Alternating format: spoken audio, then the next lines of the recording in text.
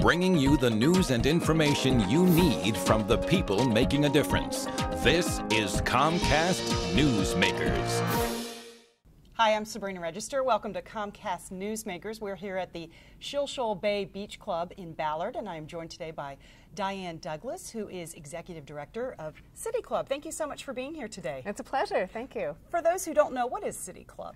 City Club is a nonprofit organization devoted to inspiring, educating, calling citizens to action. Which is a mouthful. I mean, that's, a, that's encompassing quite a bit.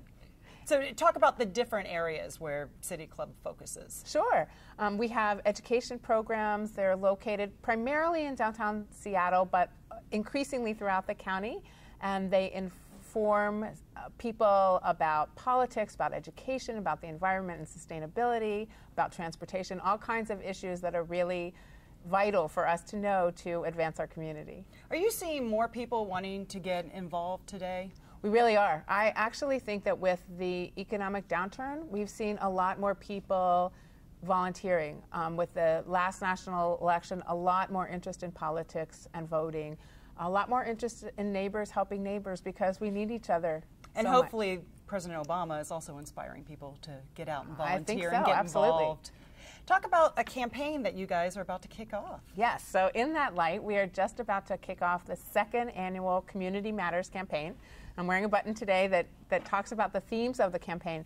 We believe that the four key ingredients for civic involvement are knowledge, connection to each other, trust that our voices matter and how we can improve our lives, working together, and then finally action. And so this campaign is all about nurturing those four basic ingredients of civic involvement. And so, how are you going to go about with this campaign? Because it's a little different than perhaps some of the other programs you guys have been doing. Exactly. It, first, it's different because there's a time frame, and it begins on September 11th, which is the King County United Way Day of Caring, and it ends on Election Day.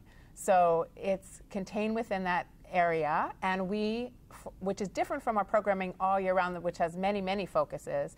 This one is focused on two key topics that were just recently identified in the new new Seattle Foundation Healthy Community Report. What are the most vital needs that our community needs to, to focus on? And so the report targets education and economic opportunity. And that's what will be the dialogues, the forums and information sessions, all of, and the volunteer opportunities and actions and voting all around educating people about those two key issues and talking about what we can do as a community to improve them. So, is this Healthy Community Report already out? It is. Okay. And people can go to the Seattle Foundation's website and look at it right away or get a copy, physical copy right away. Will people be surprised in what they see and read? in the report? Well, I think um, I think they will be surprised. I think they will be surprised um, by the disparities that we see in King County in terms of opportunity. But I think they'll also be delightfully surprised at the opportunities that we have coming coming down the road. Um, green jobs, um, communities pulling together to create really innovative solutions for youth development and crime. Um, all the work that's going on around urban agriculture, those kinds of things that are really bright spots on the horizon, and especially the collaborations and synergies between organizations, between government and nonprofit organizations, between educational institutions and community centers. Those are the real bright spots that we need to focus on and advance. And another way this program or this campaign is unique is people um, are not coming just to downtown Seattle. It's spread right. throughout, or they don't even actually have to leave their home if they exactly don't want to. Exactly right. So the Community Matters campaign is all about getting everybody's voice at the table, and that happens in lots of ways. We do have programming throughout King County. The dialogues that we're focusing on are all free, and they're going to happen in churches and community centers and schools.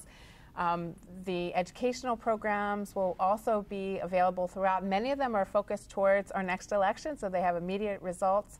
We'll have People's Choice Awards where people can vote on strategies to help education and economic opportunity. And all of this material is going to be available at our website for people to find out about, which is seattlecityclub.org. And you can sign up for a dialogue there, you can get involved, um, you can connect to volunteer opportunities. Diane Douglas, thank you so much. Unfortunately, we're out of time. Diane with City Club, thanks so much. And thanks for watching Comcast Newsmakers.